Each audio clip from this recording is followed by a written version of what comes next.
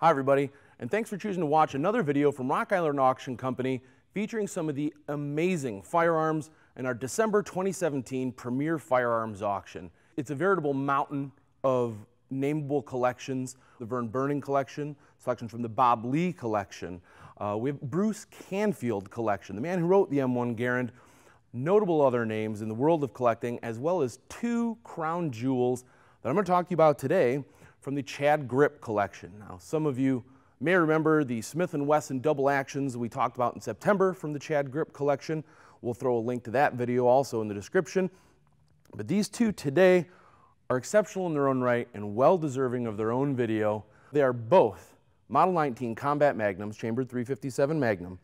The revolver on my right was presented to none other than FBI Director J. Edgar Hoover. Now, the story ends with J. Edgar Hoover, but it begins with a man named William Sweet. He was a notable gun collector, especially in the 1950s when this was presented and earlier. He was the heir to the Sweet Manufacturing uh, Company, which produced uh, jewelry and retail chain for jewelry as well. Sweet had his collection housed in his factory, a notable Western firearms collection, uh, numerous Native American related firearms, and it rivaled some of the best museums of the day. So he's well known to collectors then and now. He also had connections. Now he had connections, uh, personal ties to the FBI, notably their uh, head director out of New York, even J. Edgar Hoover himself. He also had connections to Smith & Wesson, including their president at the time, and to Alvin White, who were both housed out of the same city, Attleboro, Massachusetts. And if you put all those things together, FBI, Smith & Wesson, J. Edgar Hoover, Alvin White. They're the perfect storm, and the result is this beautiful combat magnum here in front of us. Um, well documented, its tale is well documented. There are photos, well-known photos, of Sweet presenting this gun to Hoover. It is unquestionable provenance. Let's take a close look at just the detail that's in here. We'll get some close shots for everybody you can see the full scroll work. We have gold borders, we have precious metal borders everywhere. Um, an impeccable finish. Not to mention the other beautiful features of a combat magnum where we have case hardened hammer, trigger, rosewood grips with a very fine checkering. When you pick it up, you almost you almost can't believe it. It's it's so fine and perfect. Uh, here on the left side of the receiver is the seal for the FBI. Very appropriate for a gun presented to Mr. Hoover. Of course, the presentation case we'll be pulling out of with a presentation plaque on the inside as well. On the opposite side of this revolver, we have a portrait of Hoover, uh, some gemstones underneath, the dates of his service, and a quick flip to the back strap shows us a gold inlaid number one and an exceptional back strap with the words fidelity, bravery, integrity, FBI. Even the underside of the gun is incredible. I'll flip it around the other way here. Here we have an inlaid facsimile of J. Edgar Hoover's signature on the trigger guard.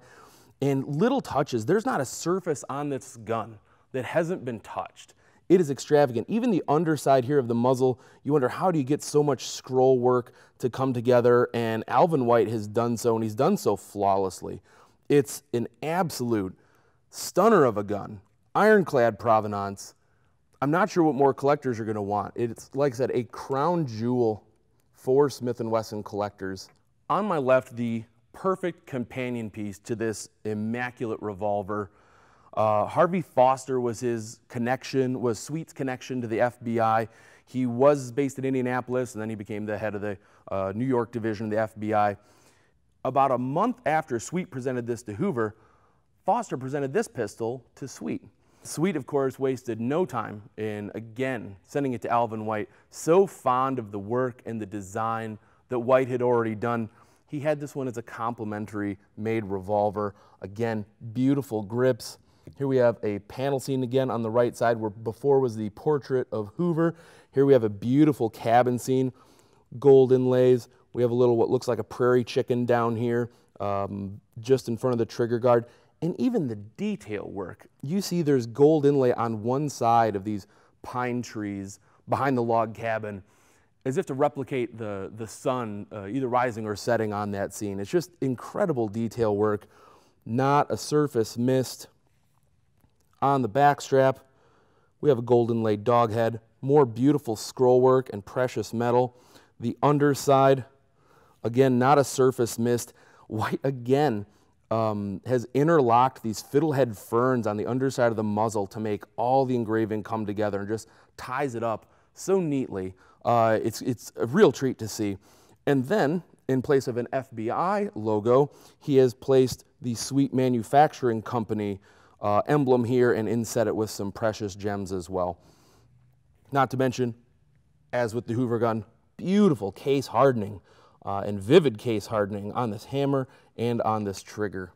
Ladies and gentlemen, two crown jewels from the Chad Grip collection. Uh, we'll have another video forthcoming about other exciting Smith & Wesson from the Chad Grip collection. I hope you're ready.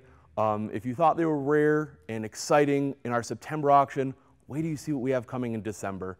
And it's not just Smith & Wessons, of course. All the genres that Rock Island Auction is well known for having, Colts, Winchesters, U.S. and foreign military, antiques, wonderful curios, some class three selections. Stay tuned for all the videos. You're not going to want to miss a single one. And we'll see you for our December 1st, 2nd, 3rd Premier Firearms Auction.